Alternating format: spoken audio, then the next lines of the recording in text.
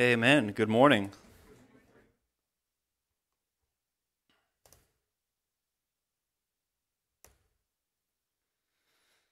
Welcome, welcome. Happy Resurrection Day. Amen. I uh, typically wouldn't do a holiday message, a Easter message, Christmas message. We also faithfully show up when we're working through the Bible. I would just keep on working, but it just so happened that we ended First Peter, and now we're in between books. So I said, "Okay, Lord, I'm I wanted to just start in Second Peter and just push on, but felt my hand was forced a little bit. So we're gonna we're doing Easter message. Today we'll be in First Corinthians chapter 15.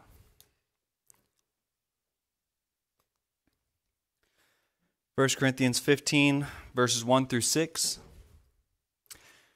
The Greeks at this time, they didn't really believe in the resurrection. And the culture of the day, made its way into the church and caused some of the church to question it. So the apostle Paul reasons with them. 1 Corinthians chapter 15 let's read verses 1 through 6. Now I make known to you, brethren, the gospel which I preached, which you also received, and which also you stand, by which also you are saved if you hold fast to the word which I preached to you, unless you believed in vain. For I delivered to you as of first importance what I also received that Christ died for our sins according to the Scriptures, and that he was buried, and that he was raised on the third day according to the Scriptures, and that he appeared to Cephas, then to the twelve. After that, he appeared to more than 500 brethren at one time, most of whom remain until now, but some have fallen asleep. Let's pray.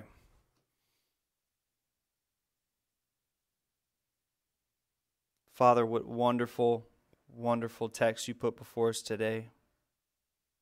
Please give us ears to hear, hearts to understand. Please make soft, fertile ground of our hearts and plant your word so we don't soon forget it and change us more to the image of your Son, Lord.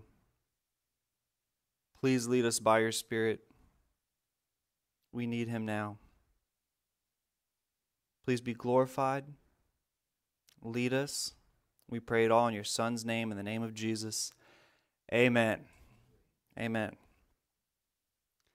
According to the Scriptures, it's important words. 2 Timothy chapter 3 verse 16 says, "All scripture is breathed out by God and profitable for teaching, for reproof, for correction, and for training in righteousness." And when it's said that scripture is God breathed, while you're speaking, you're breathing out. And as you continue to speak and speak more and more sentences and you breathe out, there's going to come a time where you have to stop and take a breath so you can keep speaking. Scripture is the very breath of God. God breathed out and he spoke the word. God expired the scriptures and inspired man with the scriptures.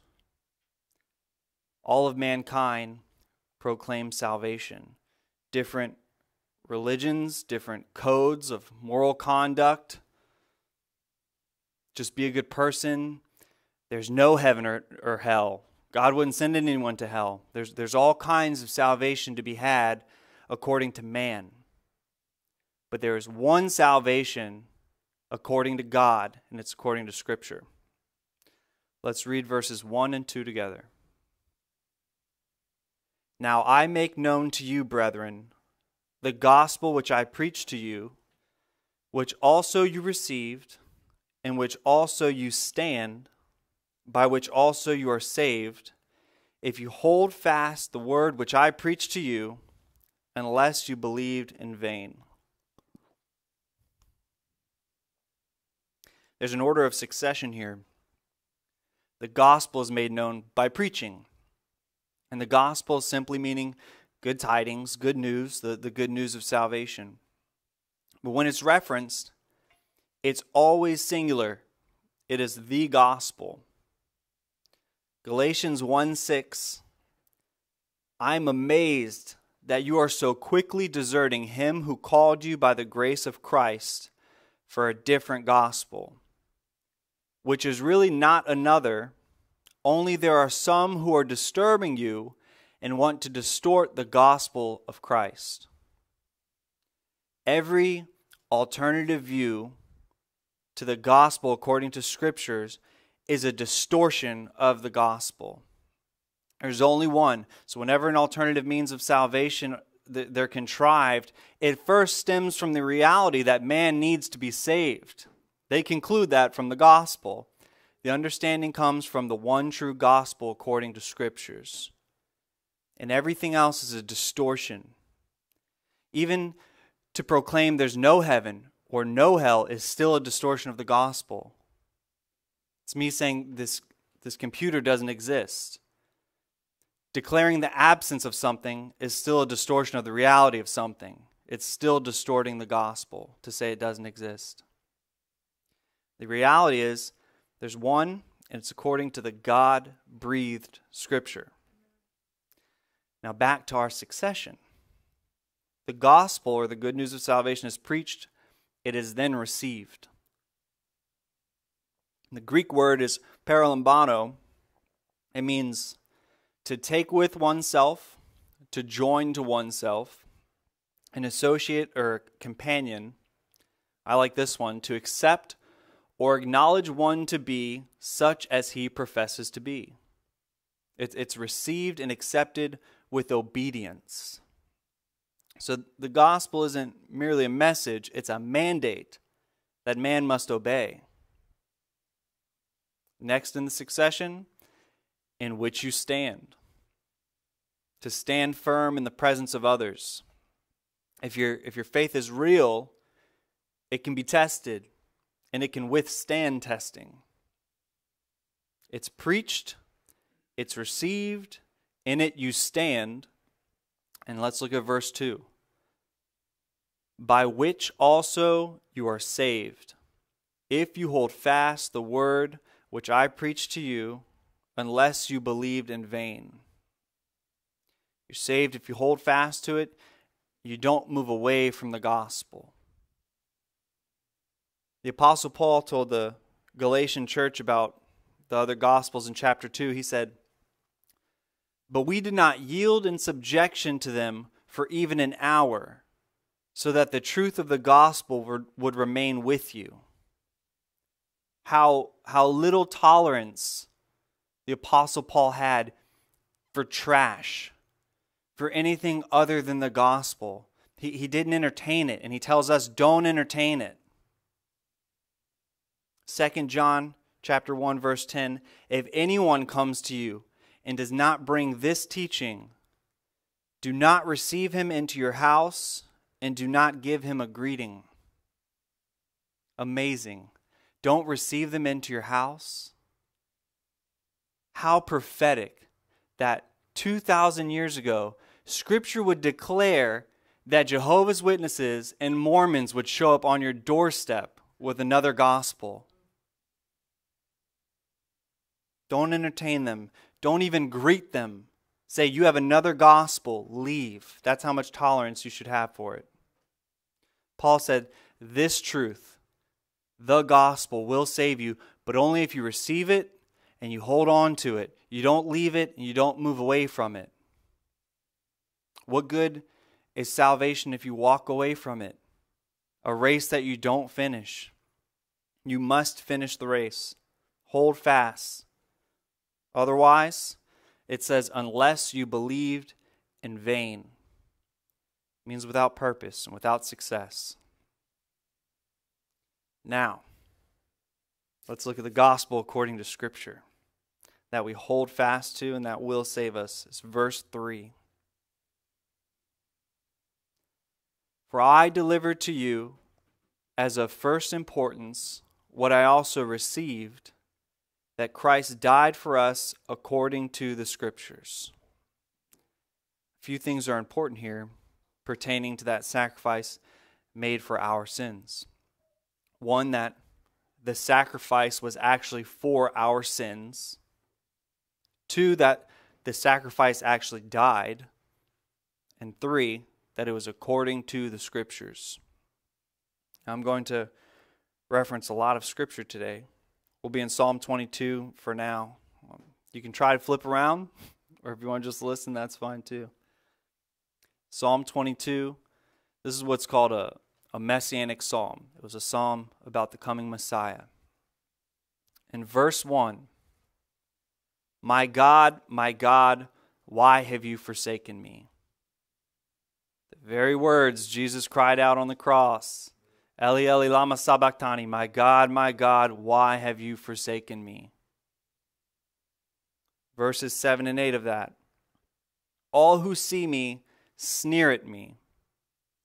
They separate with the lip, they wag the head, saying, Commit yourself to the Lord. Let him deliver him. Let him rescue him, because he delights in him. Do you remember what they said to Jesus, how they mocked him when he was on the cross. They heard him, they said, Oh, listen, he's calling out for Elijah. Let's see if Elijah will save him. Verses 16 and 18 For dogs have surrounded me, a band of evildoers have encompassed me. They pierce my hands and my feet. You can read that verse to a non believer, and they will tell you that scripture is about Jesus being crucified. It's prophecy written a thousand years before Jesus was even born and 500 years before crucifixion was even invented. I can count all my bones. They look, they stare at me. None of his bones were broken. Psalm 34 and the Gospel of John declare this that he was already dead. The Roman soldiers walk up to him and, and they would have broken his legs as the custom of, of the regular Roman crucifixion, but they didn't because they were surprised he was already dead. People didn't usually die as quickly as Jesus from Roman crucifixion, but he was crucified with a certain brutality that was beyond the typical custom that the, the honest thieves next to him were crucified by. It was more severe. He was dead because he was flogged into oblivion to the point he, couldn't even carry his cross. Remember, Simon of Cyrene had to help carry his cross for him. And of course, he had a Roman broad spear into his side. He was up, so it was probably up and under and it was a Roman broad spear, so it probably impaled every organ that you can think of. He didn't pass out and wake up later, come out of a coma. He died. Alan Chapman said this Had there been a modern state of the art accident and emergency unit at the foot of the cross, with resuscitators, drips, blood transfusions, a top class surgical team, and the whole panoply of modern medicine poised to spring into action the moment Jesus was cut down, they would have found their task hopeless. And the wisest, most skillful, and most learned medical team in the world could only have said to Mary Magdalene, Sorry, the damage is too great. Jesus, the man, is dead. End quote. Have you ever wondered why Thomas doubted? Because it was beyond a doubt that Jesus was dead. Never for a second did he consider he was alive, because he was certain of his death. Verse 18 They divide my garments among them, and for my clothing they cast lots. We read this in, in Matthew 27. They did this for Jesus' clothes. Now, let's move on to Isaiah 53.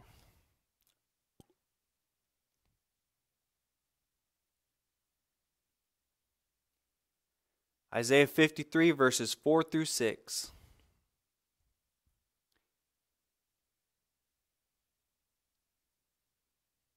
Surely our griefs he himself bore, and our sorrows he carried. Yet we ourselves esteemed him stricken, smitten of God, and afflicted. But he was pierced through for our transgressions, he was crushed for our iniquities. The chastening for our well being fell upon him, and by his scourging we are healed.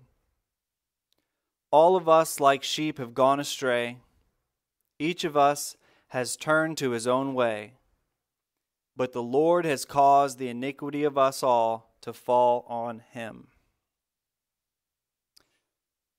Pilate, who sentenced Jesus, even declared that he found no guilt in him, that he was an innocent man. He was truly pierced through for our transgressions, not his own. Our iniquity, our sin fell upon him, an innocent man. Verse 9 of Isaiah 53 His grave was assigned with wicked men, yet he was with a rich man in his death, because he had done no violence, nor was there any deceit in his mouth. Matthew 27 tells us that a rich man by the name of Joseph of Arimathea went to Pilate for the body of Jesus, and he wrapped him in white linen. And Psalm 45 8 All your garments are fragrant with myrrh, aloes, and cassia. They piled a hundred pounds of myrrh and aloe and dried plants on Jesus' body, and then they laid him in a rich man's tomb. Tomb that was given to him on loan, praise the Lord. It was just a rental. It's clear that Jesus died for our sins. He died for our sins according to Scriptures, and that he was buried according to Scriptures.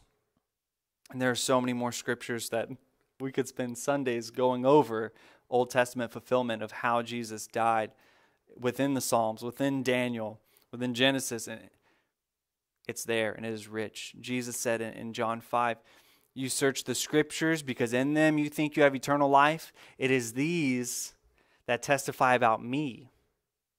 The whole Bible finds its fulfillment in Jesus. That's why he's the Word made flesh. It's all about him.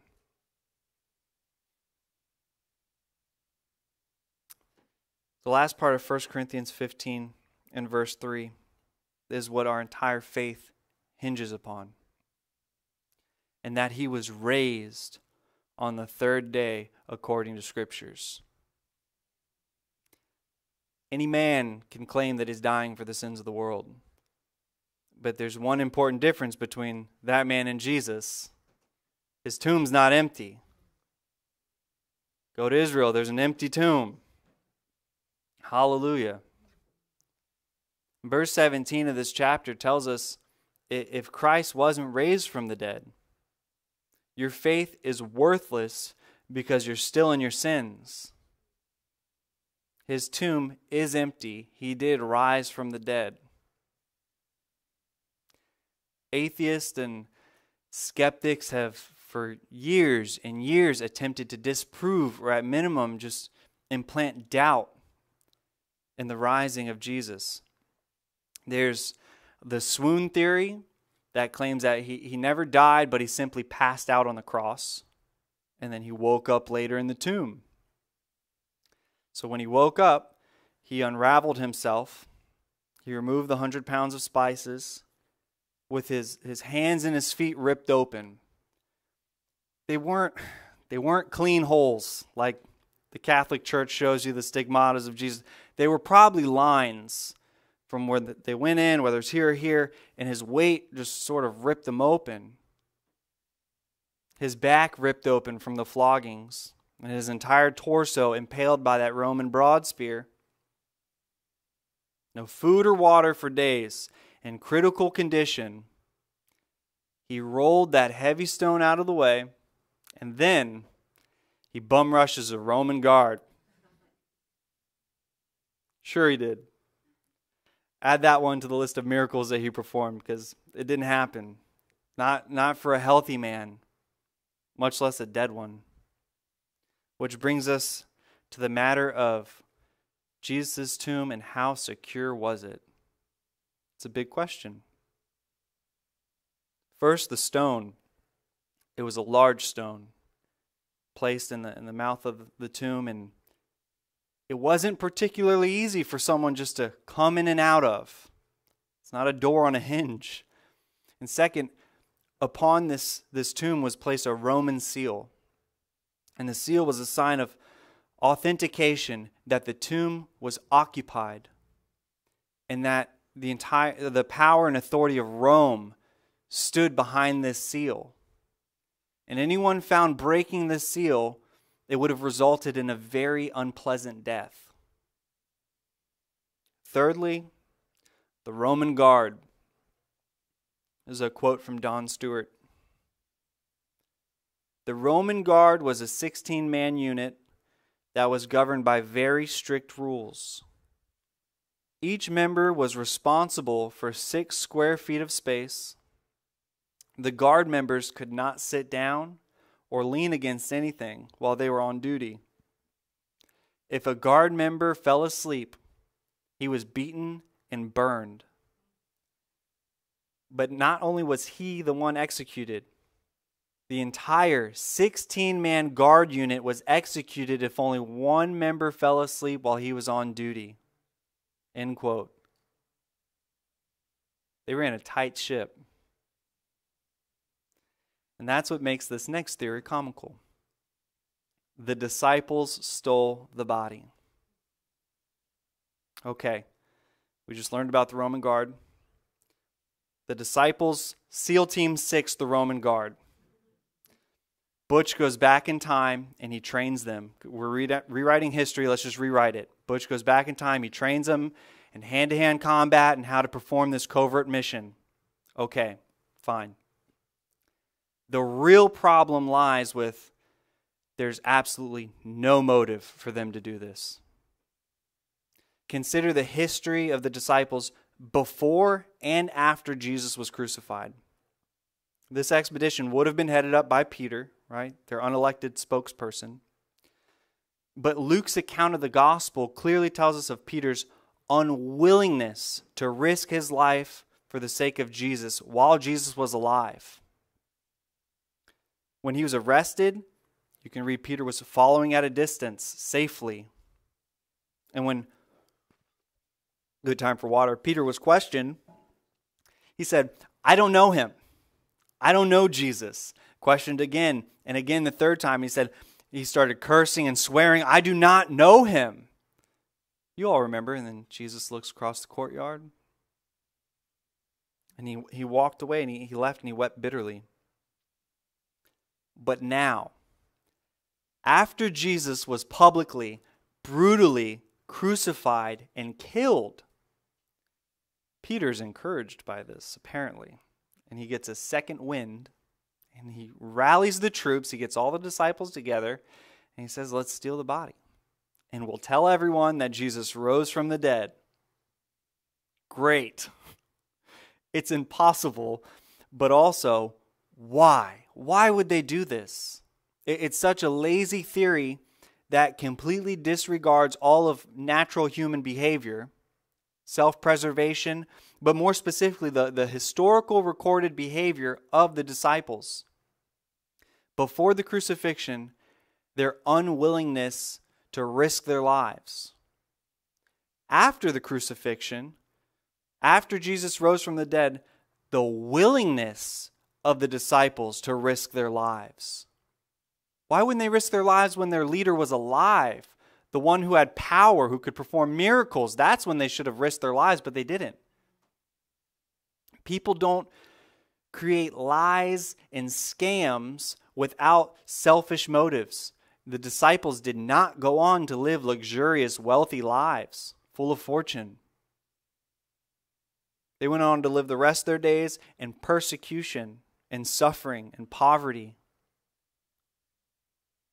1 Corinthians chapter 4 says, For I think God has exhibited us apostles last of all as men condemned to death, because we have become a spectacle to the world, both to angels and to men.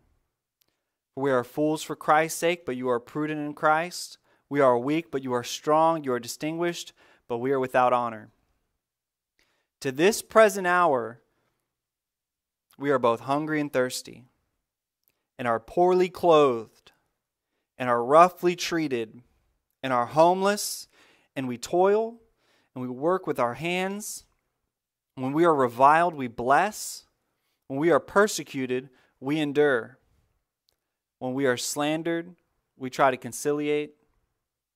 We have become as the scum of the world, the dregs of all things, even until now.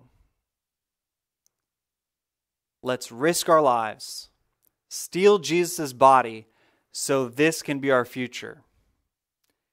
And then, after we suffer the rest of our lives, we can be horribly murdered thrown off of buildings, stoned, beheaded, fed to lions.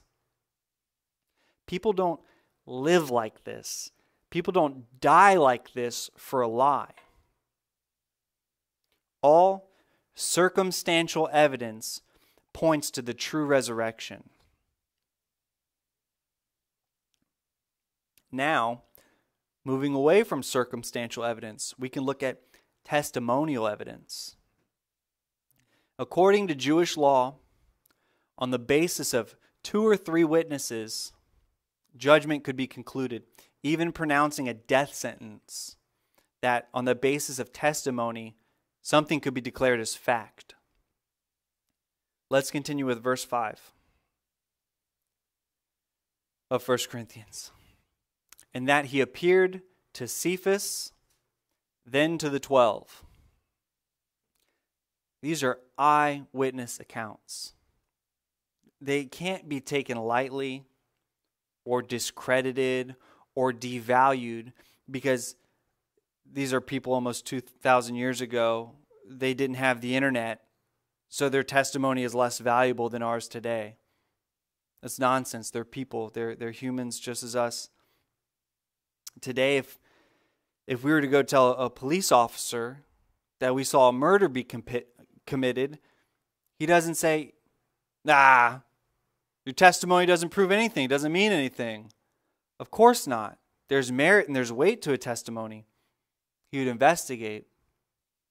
Now, if 12 people ran up to an officer and said, We saw a murder be committed, the entire town would shut down and a manhunt would be on. There would be so much weight to those testimonies. Let's read verse 6. After that, he appeared to more than 500 brethren at one time, most of whom remain until now, but some have fallen asleep. Over 500. That's more than we can fit in this building. That's more than, than some towns' populations. That's more than, than Nazareth, than, than Jesus' hometown where he grew up. How many people would have populated that town at the time? But still, there were millions of people at this time. Why didn't he show himself to the entire world he is, before he ascended into heaven? That's a question that I think people have wondered. Notice that Jesus didn't show himself to just anybody, to everybody. Look at the verse that he appeared to more than 500 brethren at one time. He revealed himself to the faithful. He didn't show himself to non believers. The same way that he spoke in parables. The same way he says, Don't cast your pearls before swine, don't give the children's bread to the little dogs. Jesus is the perfect steward. He never wasted anything his, his time, his words, or his appearance. He showed himself to the brethren and the brethren alone. But but but if, if Jesus showed himself to more people, more people would believe. You hear that all the time. Why people don't believe in the Lord. They just want a sign. In Luke 16, there's a parable of, the poor man Lazarus who went to heaven and a rich man who went to hell. And the rich man in hell said, Then I beg you, Father Abraham, that you send Lazarus to my father's house, for I have five brothers, in order that he may warn them, so they will not also come to this place of torment. But Abraham said, They have Moses and the prophets. Let them hear them. But he said, No, Father Abraham. But if someone goes to them from the dead, they will repent. But he said to them, If they do not listen to Moses and the prophets, they will not be persuaded, even if someone rises from the dead. We can sometimes kick ourselves when we want to reach a, a, lost loved one, thinking, if only I said this, or if I showed them this, or if I did that, it, it, it's something I'm not doing. That's why they won't believe. I could do more. Jesus didn't bother to show himself to some people after he was raised from the dead. Some people will never believe Jesus knew who those people were. We don't. So we try to persuade all men. We don't know who will come to Christ, what sons of God will or will not be revealed.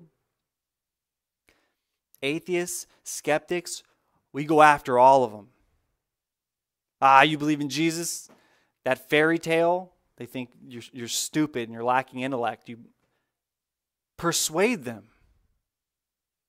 Compel them. What's so hard to believe? Jesus is God. Why couldn't he save the world, be raised from the dead, and then present them with the case? Because it happened.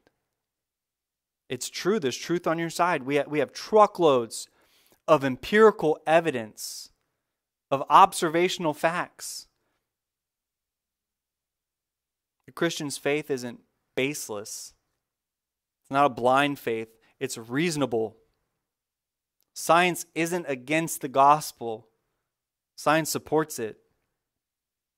But know this providing enough empirical evidence to someone that's to support the resurrection is not the basis for our faith. It's an agent of witnessing. Our faith doesn't rest in the evidence. Salvation rests in the belief in the gospel, not the evidence. Jesus Christ was the greatest evidence of all. And people still did not believe him. We today, we've never seen Jesus, and we do believe without the greatest evidence of all. Evidence is not the basis for faith, but it's a tool for presenting the gospel. Similarly, our testimony is not the gospel but we can use our testimony as a tool for presenting the gospel. Which is why Paul said, speaking of those 500 brethren, most of whom remain until now, but some have fallen asleep. Why would he tell his readers that many of them are still alive? He was saying, They're still alive. Go ask them. You can go ask them for yourself. Go if it helps you. Go ask them. They'll tell you. They'll testify that Jesus is risen. Testimony can help lead someone to believe. But a person's faith cannot rest in someone else's testimony. In John chapter 4, there's a story of, of a woman at the well, the Samaritan woman. And, and Jesus tells her all about her life what she did, who she's, who she's been with, who she's with now, her husbands. And after her encounter with Jesus, she concludes he's the Messiah, the Savior of the world. And so she runs into town and she tells everyone, testifying, Come and see a man who told me all the things that I've done, and it's the Christ. Many of the Samaritans believed in him because of the word of the woman who testified. But After Jesus stayed in that town with them for two days, this is what it says. This is what they said. It is no longer because of what you said that we believe, for we have heard for ourselves and know that this one is indeed the Savior of the world. Have you received Jesus for yourself? Do you know him for yourself? Faith can't rest on someone else's testimony. You have to have your own. Jesus won't save you because he's your parents' Lord. He has to be your Lord. My sheep hear my voice, and I know them, and they follow me. If you don't follow him and you don't know his voice, then the Bible says, Today, if you hear his voice, do not harden your hearts, but encourage one another day after day, as long as it is still called today, so that none of you will be hardened by the deceitfulness of sin. It's still today. Call on him. But if you don't, if you don't do it now, your heart may never be tender enough to receive him again.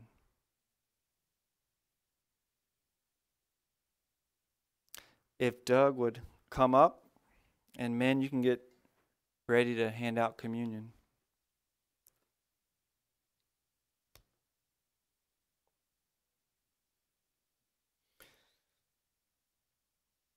The world would love to let us think that we can be neutral that I'm not hurting anyone. I'm not against God.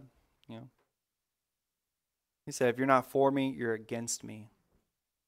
He who does not gather with me scatters. Not accepting him is rejecting him. It has a consequence. Your heart just gets hard. So, as the music is played, if you realize Jesus isn't your Lord, or you thought he was, and you realize He's not. And you want him to be. In your heart, in your mind, repent, turn away from sin, and just say, All right, decide I'm going to follow Jesus. I've heard your voice and I'm going to follow it. Romans 10 says, If you confess with your mouth Jesus is Lord, and you believe in your heart that God raised him from the dead, you will be saved. It's that simple. It was for me, it is for everyone else. Today, if you hear his voice, do not harden your heart. Go ahead, men.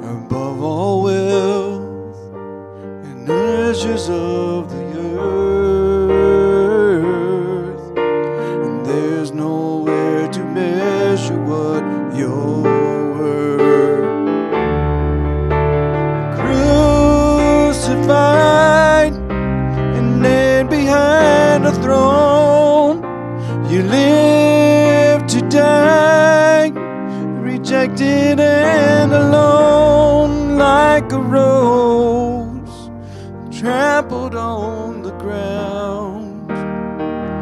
You took the fall and thought of me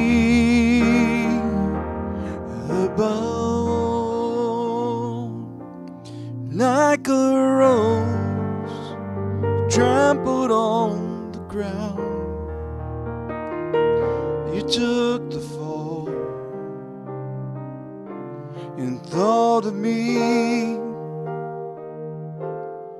above all.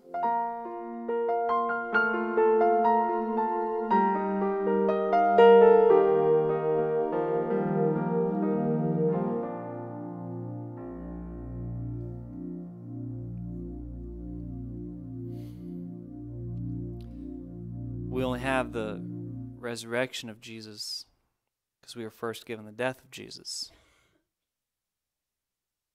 He told the church, Remember my death.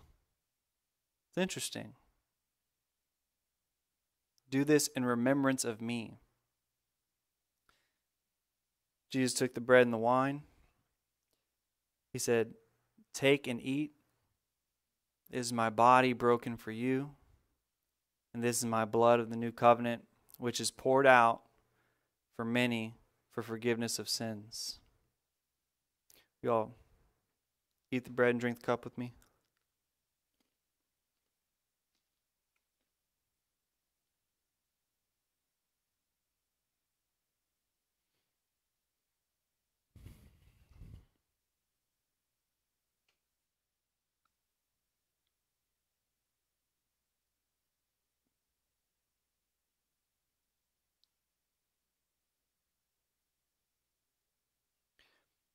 As often as you eat the bread, you drink the cup, you proclaim the Lord's death until he returns.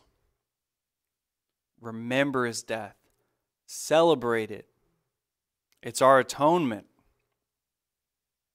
Then walk in the power of his resurrection. Amen. We all stand?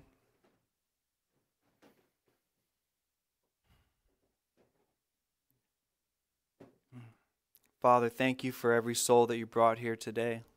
And thank you for your word. Thank you for the gospel. Thank you for saving us. Thank you for raising your son to testify that the sacrifice was accepted. We love you.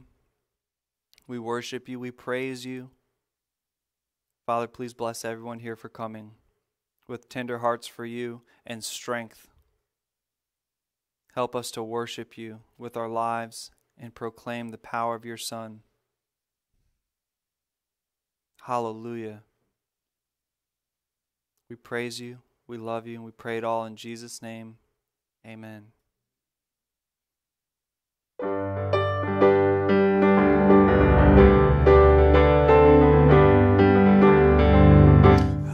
I'm of homesick for a country to which I've never been before. No sad